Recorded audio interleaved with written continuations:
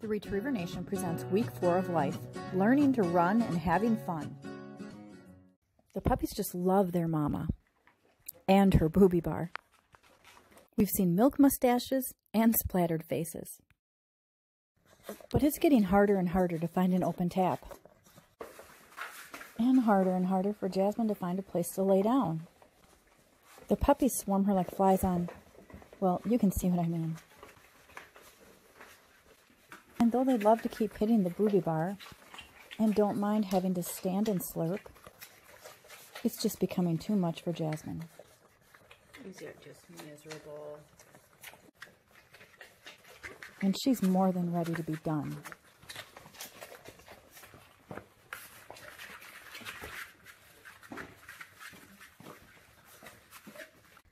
So the taps are being turned off. This is the perfect time to begin sound desensitization. I do this while they're eating.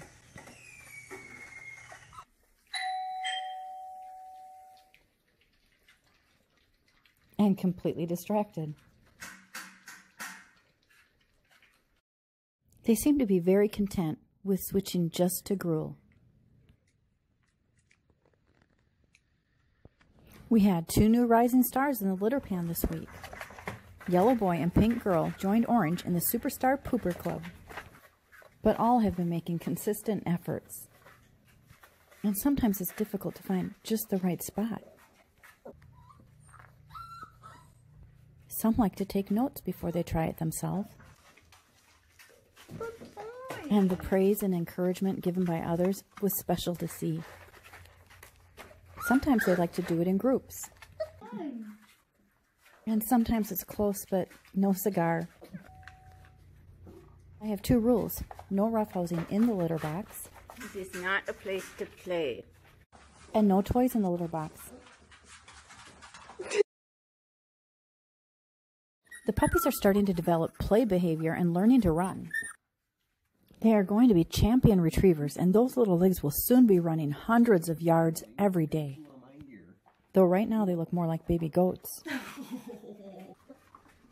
My favorite is when they run to us. Ready for this? Puppy, puppy, puppy, puppy, puppies! Puppy, puppy, puppy, puppies!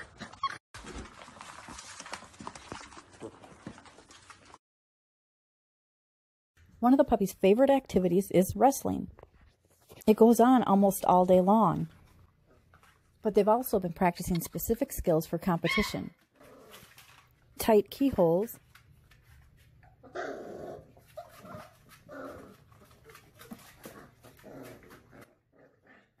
and taking straight lines despite obstacles. Come on! Oh, there you go! There you go! There you go! Good girl! Good girl! That's a good girl.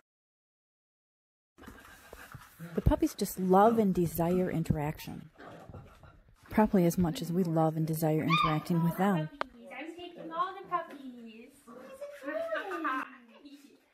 It's hard for me to be at work because I'm just used to holding a puppy next to my face. In their world, there's nothing but happiness and love, and I try to enter it as often as I can. It's a great place to escape to.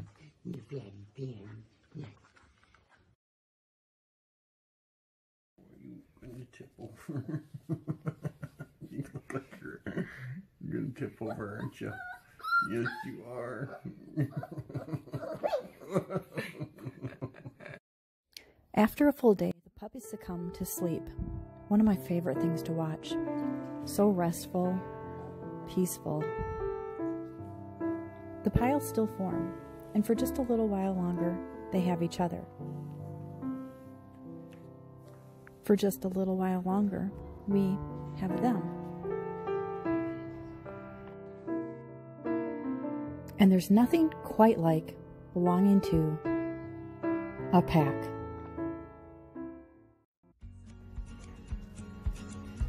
Thanks for watching the Retriever Nation and week four of life. Be sure to subscribe to our channel and follow us on Instagram so you can be sure to get the most recent updates of this adorable litter before these eight little puppies leave to their new homes. It'll be here before we know it. And as always, if you want to join Jasmine's fan club, hit on the like button below. Until next time, this is Terry at The Retriever Nation. Thank you.